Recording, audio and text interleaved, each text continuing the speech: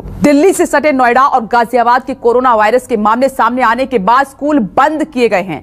नोएडा के सेक्टर 40 के एक प्राइवेट स्कूल के तीन टीचर और तेरह छात्र कोरोना संक्रमित पाए गए हैं, ये बड़ी खबर है।